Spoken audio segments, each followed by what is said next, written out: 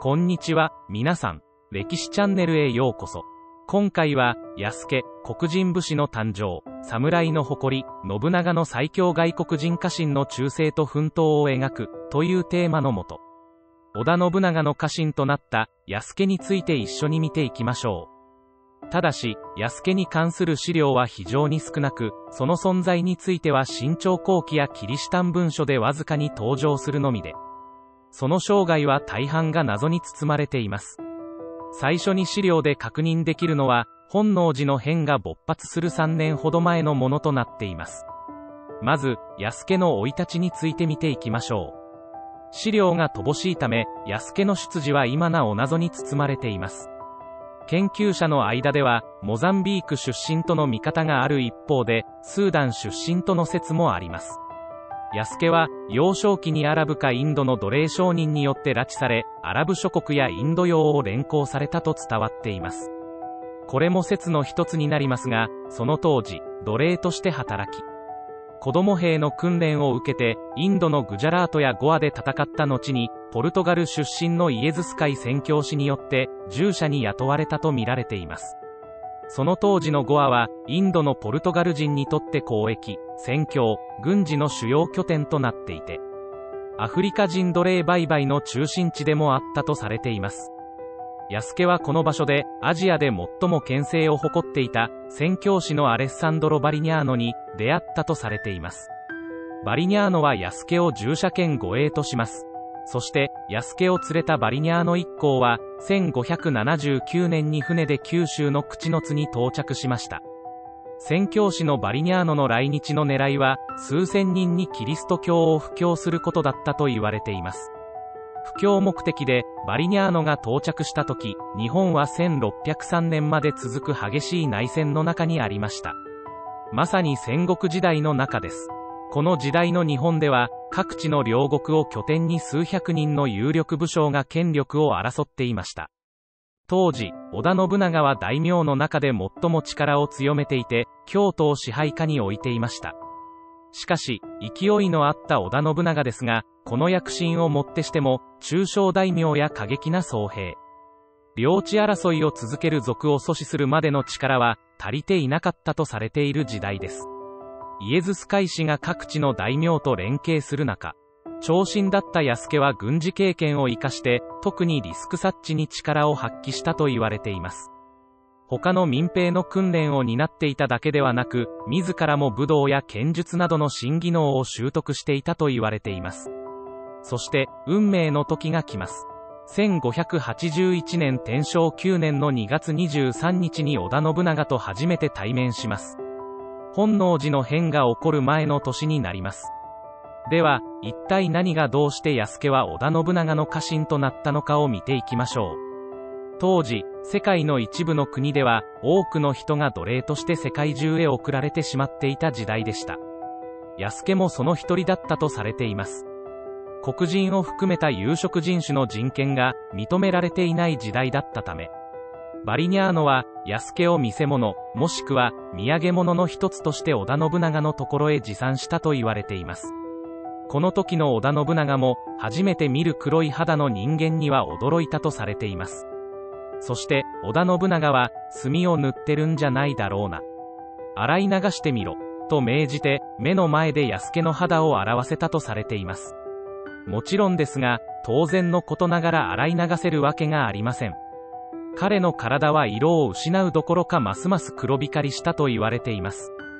さらに織田信長は安家の肌を引っ張るこするなどの手段で肌の色を落とそうとしましたが、彼の肌には全く変化が生じなかったとされています。本当に黒い肌の人間なのだと分かった織田信長は、すぐに尊敬の念を込め、宴会を開いて、彼を歓迎したと言われています。尊敬の念を込めた理由に、ある一節では、織田信長は安家を大黒天ではないかと考えたとされています。大黒天は北条の神で、寺院では通常、黒い像によって表現されているためです。そして、数日のうちに織田信長は、宣教団から安家の身をもらい受けるよう交渉しました。そして無事、彼を譲り受けた織田信長は、安家という日本人の名前を与えて、そばに置いたとされています。名前の由来は不明ですが、一説には、元々の名前が現地に多い、安フェだったという話もあり、織田信長が聞き間違えて、安家になったという説があるそうです。まずは道具持ちの座につかせました。不意の襲撃が絶えなかった当時、体格が良く、武術の訓練を積んでいた安家をボディーガードにしたいという考えもあったのではないでしょうか。織田信長が欲しがった安家について、どういう人物だったか見てきます。当時の安家は、年齢は26から27歳くらいに見えたようで、背は高く、182センチメートルほどあったと言われています。前田利家も大柄で有名ですが、ほぼ同じ身長だと記録されています。信長の身長も170センチメートルぐらいとされていて、当時の平均身長と比べると、かなり大きい方です。3人並んだら、相当な威圧感があるのではないでしょうか。さらに、加えて安家は、10人力と記録されるほどの力持ちだったといいます。織田信長は、もともと大の相撲好きで有名な武将の一人です。織田信長は、ただ単に相撲大会を開くだけでなく、腕力の強い者ならどんな出自でも構わんといい、身分問わず参加を認め、上位者には、褒美を与えて召し抱えるということをよくやっていたと言われています。安家もその相撲大会に参加したということが資料に残っています。当時の日本人にすれば大変物珍しく感じられたことでしょう。安家が京都に到着すると、その姿を一目見ようと人だかりができ、圧死してしまう人が出るほどの騒ぎだったといいます。このことからもわかるように、この安家の相撲大会の参加は大騒ぎになったと言われています。では、織田信長のもとに来た安家は、どういう生活をしていたのかというと、かなりの好待遇だったようです。名前をもらい受けるだけでも特別なのですが、織田信長は安家のことを奴隷扱いのままにはしませんでした。衣食を用意して、従者として側で働くよう命じたのでした。この時までに入国から3年が経ち、安家は日本語を少し話せるようになっていました。アフリカとインドの土産話を織田信長は大いに楽しみ、二人の間に急速に絆が育まれてゆくことになりました。イエズス会の記録によると、織田信長はすぐさま安家を侍に取り立て、従者や住居、淵まで与えたとされています。ちなみに、淵とは、助けること、すなわち扶助するという意味があります。ここで言う、淵とは、武士に米で与えた給与です。このように安家は織田信長のお気に入りとなったと言われています。そして織田信長は武士の身分私分を与え安家を外国人としては初の侍に登用しました。さらに、わずか数ヶ月のうちに、安土桃山城内で巨所と使用人を与え、腰刀の台頭を許しています。食事を共にする限られた家臣たちの仲間入りも果たしており、その扱いはまるで家族同然だったとも言われています。また、ボディーガード役も期待された安家は、実際に一度、織田信長と共に出陣しています。1581年に宿敵であった武田信玄の配下にあった伊賀に対し、織田信長は4万から6万人ほどの軍勢を率い襲撃を仕掛けました。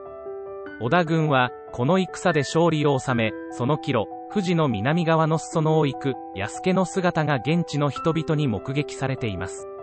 出陣はこれ一度きりだと言われています。翌年の1582年、天正10年、6月21日、安家だけでなく、日本史の転換点にもなった事件が勃発します。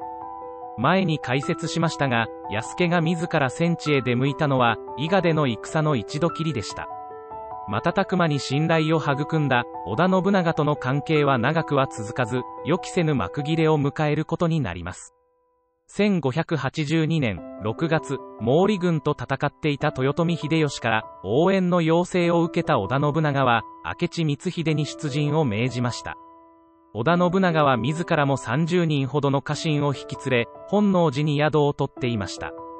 ところが21日の早朝、主君であるはずの織田信長に対して、明智光秀が謀反を起こし、本能寺を吸収する事件が起こってしまいます。この事件こそが歴史に名高い本能寺の変です。ある一節では、最後を悟った織田信長は、行動を共にしていた安家に対し、最大限の信頼を込めた指令を与えたと言われています。自らが切腹した後、首が決して敵軍に渡ることのないよう、息子のもとに届けてほしいという命でした。こうして織田信長が自害し、側近の森蘭丸が解釈すると、その首は安家に託されたといいます。信長の首が他人の手に落ちるわけにはいかなかった。安家の仕事は一族の権力を維持することだったと、この時の状況をイエズス会氏によって1582年に記述されています。織田信長の最後の威信を背負った安家でしたが、臆することなく奮戦します。安家は、主人である織田信長が自害した後、二条城へ向かい織田信忠へ加勢しました。一旦本能寺を出たのであれば、逃げようと思えば逃げられたでしょう。しかし、安家は織田信忠を助けようと加勢しています。このことは、織田信長の命を受けていたか？あるいは安家自身が自発的に織田信忠を助けたいと思ったかのどちらかではないでしょうか？いずれにしても逃げずに織田家のために戦いを選んでいます。このように安家は奴隷扱いから一転した生活になったことで織田信長と織田家に好感を持っていた可能性が高いとされています。しかし安家は刀を振るって奮戦しましたが不幸にも明智光秀の包囲網を突破することはできず敵の手に落ちてしまいます。最終的に降伏したと言われています。フロイスの報告があります。そこには巡察使が信長に送った黒人奴隷が信長の死後息子の家に行き相当長い間戦っていたところ明智の家臣が近づいて恐れることなくその刀を差し出せと言ったので刀を渡した。家臣はこの黒人奴隷をどのように処分すべきか明智に尋ねたところ黒人奴隷は動物で何も知らず、また日本人でないため殺すのはやめて、インドのパードレ司祭の聖堂に置けと言った。とあります。明智光秀の黒人奴隷は動物で何も知らずと言ったとされていますが、あまりにも人種差別的です。もしかしたら、殺さないための方便だったのではないでしょうか。皮膚の色こそ異なるものの、若干言葉を介し、最後まで主人への忠誠を果たした従者を殺すのは忍びないと光秀が思ったとしても不思議ではないとされています。そして南蛮寺へ護送されたといいます。こうして安家は一命を取り留めました。これもまた一説になりますが、織田信長の首は南蛮寺に預けていたのではないかと言われています。本能寺の変で織田信長の死体が見つからなかったことそしてこの時安家が織田信長の首を持ち出してデスマスクを作らせたという話があることを考えると首をうまく持ち出せたという説が有力になるのではないでしょうか。安家は解放直後イエズス会の宣教師から治療を受けたということまでは分かっています。また本能寺の変以降安家についての記録は少なく、その後のいきさつは明らかではありません。一説によると日本のイエズス会のもとに送り返され、国内で余生を過ごしたとも言われています。そして、ある一説には、織田信長に会う前、九州の有馬晴信にも謁見したことがあるという記録が残っていることから、有馬家に仕え、沖田縄手の戦いに参加したとも言われています。あくまで全てが説と言っても過言ではないでしょう。実際、歴史上に安家が登場する期間は、わずか3年足らずであり、その素性も大部分が謎に包まれています。最後に、安家の存在は歴史書に記されていますが、戦国の日本で唯一の外国人だったわけではありません。当時の九州には、大勢の朝鮮人と中国人が住んでいたとされています。欧州出身者やインド人、アフリカ出身者も数多く日本を通過していた時代です。その証拠に、彼らの存在は、当時の屏風に記録されており、黒船による来訪や、地元住民に混じっての生活の様子が書かれています。日本では今日、世界初のアフリカ系侍としての安家の伝承はよく知られていて、安家の生涯についてフィクションを通じて再構成されることが多くなり1968年に作家のクルス義雄が出版した安家の生涯をもとに児童文学「クロスケ」で主人公として書かれたほか1971年の遠藤周作によるユーモア小説「クロンボー」の主人公のモデルとなりました。それから漫画のアフロ侍に至るまで多彩な関連作品が生まれています。安家の伝承は世界にも広がり続けていると言えるでしょう前にも述べましたが、実際、歴史上に安家が登場する期間はわずか3年足らずです。そして、その素性も大部分が謎に包まれています。しかし、こうした事情があるにもかかわらず、海外を中心に注目を集めており、研究者の間でも安家は再評価されています。